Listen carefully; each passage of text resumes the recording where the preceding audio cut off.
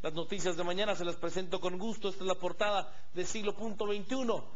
Jefes antidrogas debaten sobre nuevas estrategias. Ya le hablaba de este evento en la antigua Guatemala. Además, juez cambia delito de Beatriz Ofelia de León.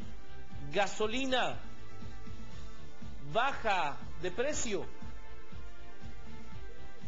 Baja 68 centavos de quetzal. Población envejece más rápido en Latinoamérica. Además, esperan captar 1.500 millones de dólares en inversión.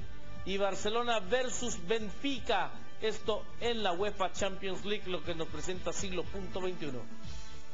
Momento de despedirnos. Antes, como siempre, una frase, un pensamiento, una reflexión. Hoy le tengo esta maravillosa reflexión del gran pensador.